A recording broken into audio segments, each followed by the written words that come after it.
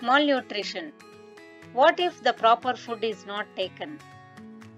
Objectives. By the end of this video, you will be able to define malnutrition, give some examples for diseases due to malnutrition, as well as suggest proper food habits in the aspect of balanced diet.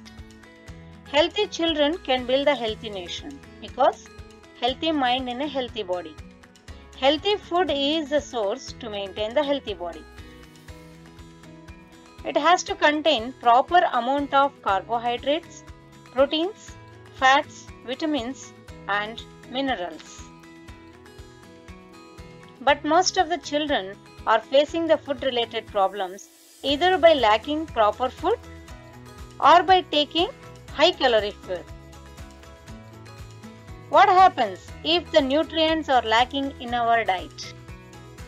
Eating food that does not have one or more than one nutrients in the required amount is known as malnutrition. In India, the malnutrition is calculated as 33% in urban areas, 46% in rural areas and 55% in tribal areas. What are the reasons for malnutrition? Especially the poverty and poor health willful starvation or fasting regularly, lack of awareness of nutritional food habits, as well as socio-economic factors. These are the major reasons for malnutrition. Malnutrition may be of calorie malnutrition, which refers that the diet is lacking calories. Protein malnutrition, which refers that the diet is lacking proteins and protein calorie malnutrition which refers that the diet is lacking both proteins and calories. There are several lot of diseases due to malnutrition. Let us learn some of them. Kwashiorkor. This is the disease caused due to the protein deficiency. The symptoms are body parts are swollen due to accumulation of water, poor muscle development, swollen legs and fluffy face, always suffering with diarrhea and dry skin, marasmus. This is the disease caused due to protein calorie deficiency. It generally occurs in the neglected children when mother gets immediate pregnancy or repeated childbirths. The symptoms are lean and weak, swelling joints in the limbs, less developed muscles, diarrhea, dry skin, or pellagra. This is the disease caused due to the vitamin B3 deficiency.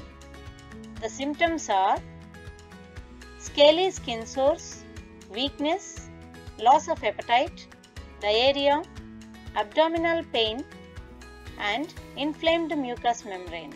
Obesity. This is the disease caused due to overeating and excess of calories. It is a big health hazard. The symptoms are increased weight, cannot cope up with proper physical activity, joint pains and feeling tired always. The children with obesity when grow they will be the target of many diseases like diabetes, cardiovascular problems, renal and gallbladder problems. This is also caused due to intake of a lot of junk food. Then what is the solution for diseases caused due to the malnutrition? The major solution is to follow the balanced diet.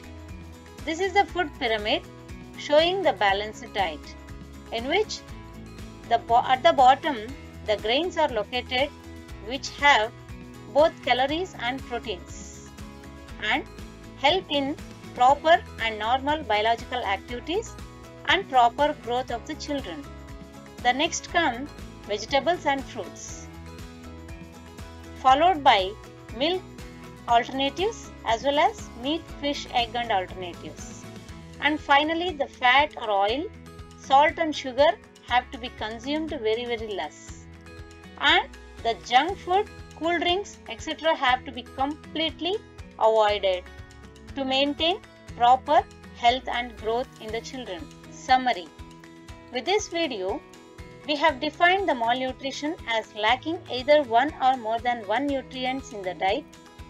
Malnutrition may be calorie malnutrition, protein malnutrition or protein calorie malnutrition. Diseases like kwashiorkor, marasmus and others are caused due to malnutrition.